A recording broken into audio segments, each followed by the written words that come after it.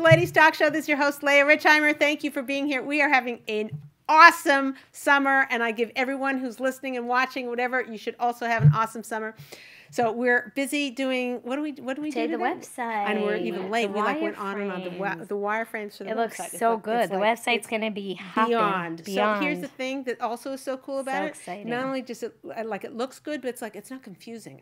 If you Yeah. go to our website now, no, you should see the before and the after. Like if you go now, it's Yeah. like what exactly do they want Yeah. me to do? Where Yeah, go to the website go? now, Yeah, ladiestalkshow.com, yeah, dot com, and then go to the website in in like about a, a month. month. I don't know. We're saying. And then you'll be able to see yeah, the it's makeover. Really great. It's a great The makeover. before We're and having after. a lot of fun with it. Whatever. I miss you guys because like I usually now I'm getting lots of emails and stuff like that Yes. from whatever. So keep sending the questions in because then I don't have to you know do a whole lot of um, Yeah. craziness. I'm supposed to have the summer off. Yeah. Wink, wink, yeah. wink. But the questions. Uh, so I got the fabulous question. I'm sure she's waiting for the answer. I hope Yeah. you're watching today. Anonymous at Yeah. anonymous.com. Yeah, Um, info at ladiestalkshow.com if you're sending it Yeah, through email. You right. can comment Info on at Facebook. ladiestalkshow.com. So uh, just send a question there. You can send it in anonymously. Go to the website and go to contact us and just write in anonymous. You can send it in. So I have an anonymous one today.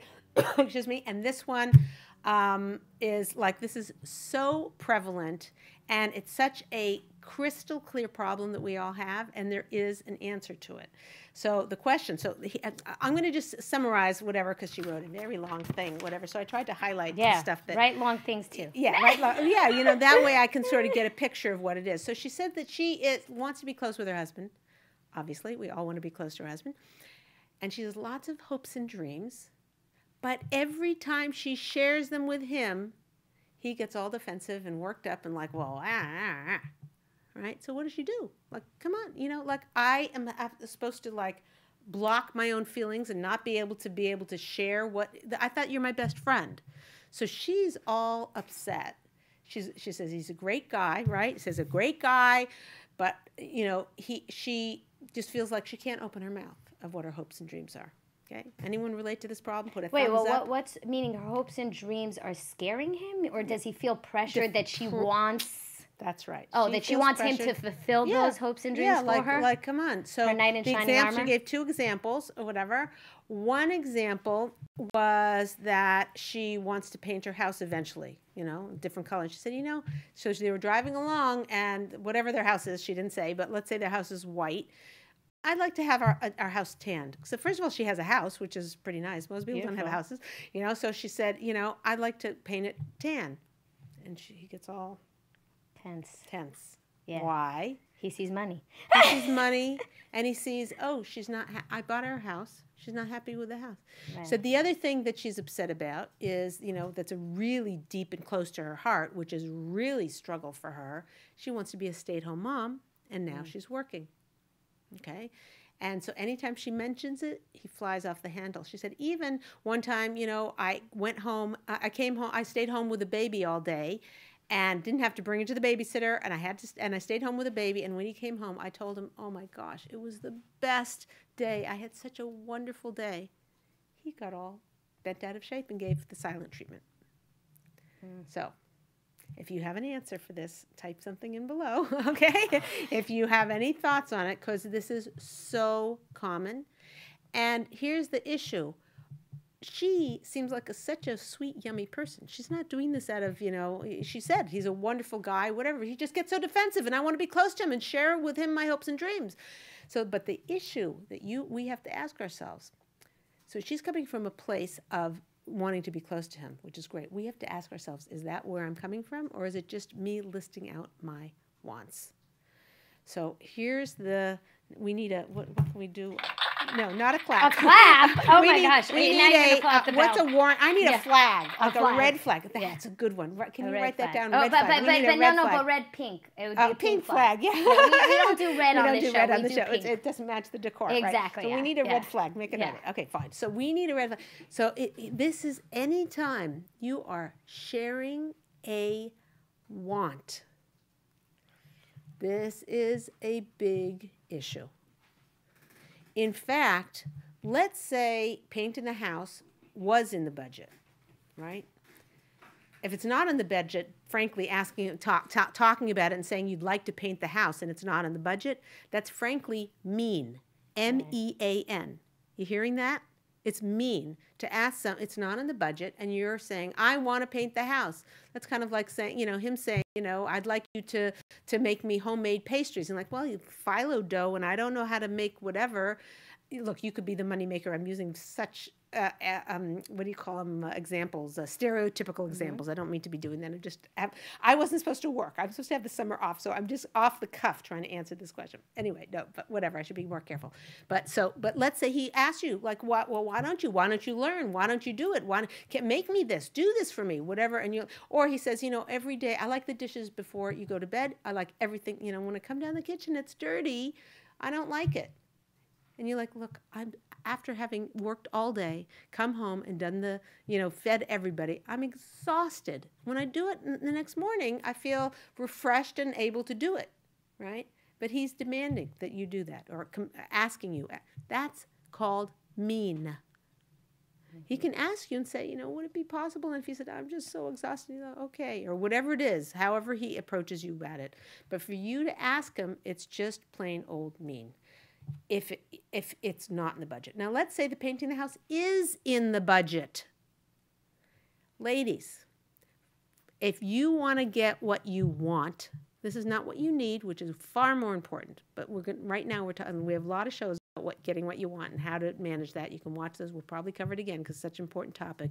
People get their wants and their needs confused all the time, and because of that, they don't get what they need, and they annoy everybody around them. They annoy their husband. Okay, so if it is not, if it is in the budget to get the house painted, you want to know a secret? If you were to say to your husband, "I'd like to get my house painted," you have like a twenty percent chance of getting it, the house painted.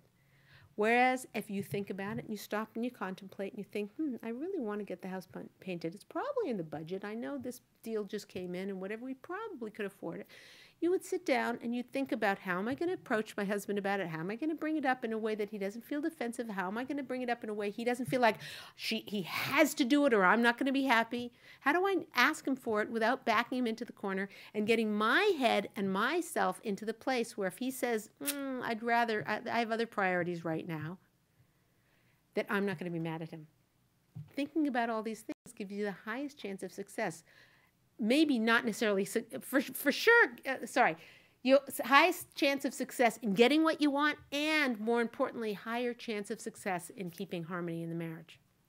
So if let's say it's in the budget to get the house painted, so you think about it, and then you sit him down and say, you know, I was thinking about it. You know, I know that you had talked about you wanted to get uh, new carpet for the living room, and you know that's going to cost around this much. I think our carpet is actually doesn't look so horrible.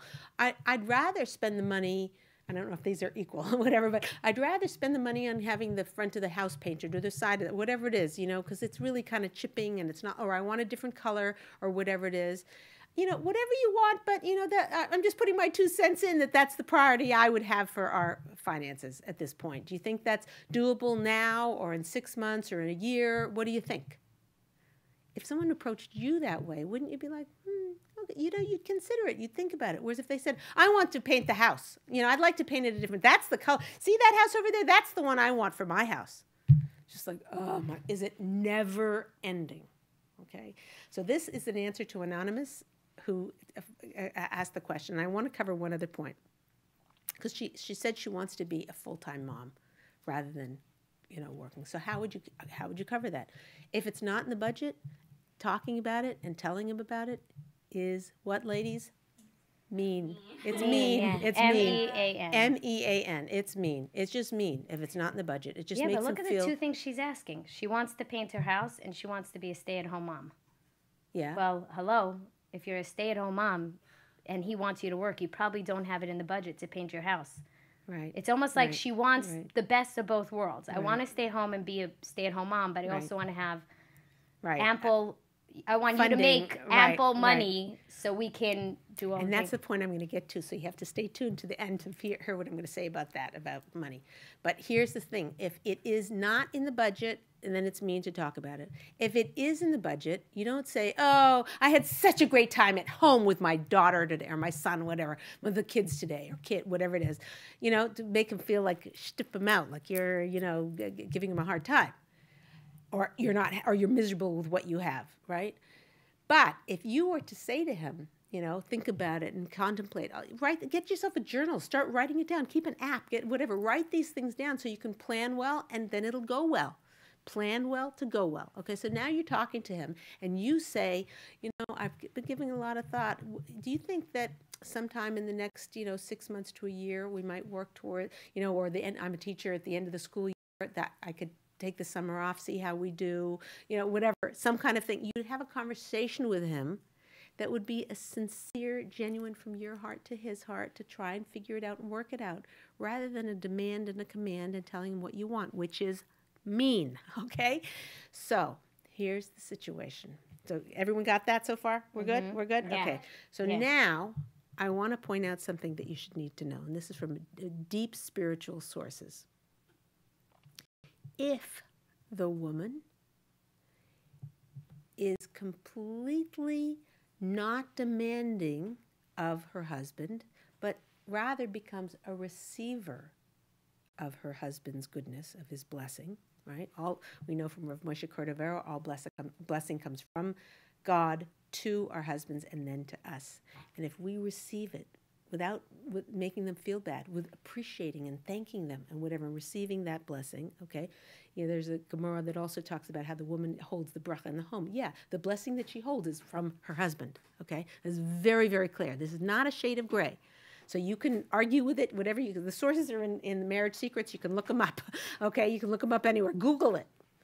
A man is the source of the blessing in the home. So if a woman is a nice receiver, more money will come in. So if this woman wants to become, wants to stay, be a stay-at-home mom or paint the house, her number one way of getting more money in their house is by being grateful and thankful for everything that he she has already and thanking her husband verbally not just feeling it oh yeah that, oh that's nice that's from him but to thank him and verbally and and appreciate him that way and if you do that then her, both her problems are solved okay because she's going to have money to paint the house and she's going going to have money to to stay at home on. not every I, I I shouldn't say it's guaranteed, and I shouldn't say that that's for sure the way this all happens.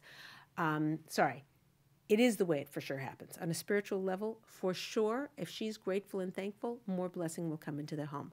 Does it mean she'll get exactly what she wants? No, but maybe something like, for instance, if if um, she is she wants to get the new house painted, and she's thankful and grateful and whatever, and her husband keeps saying no about the uh, no no no to the house, but then she wants a new dress, and he says, yeah, just go get it or whatever. She will get blessing. It may not look exactly how she wants, but it is absolutely guaranteed that the more grateful that the woman is to the husband, the more blessing will come in their home. That's it. That's how it works. And the homework is one time to say thank you to your husband this week. Just say, I appreciate you, or I thank you, or I'm grateful to you. And you'll see there's a whole dynamic that shifts, and the husband will not feel defensive as this man does, but he'll feel like, I'm, I'm the guy. And that's what you want for him, for your future income in your home. Okay, that's it. Any questions? Anybody? Yeah, anybody? Good? good? Okay, stay tuned. We'll see you next week.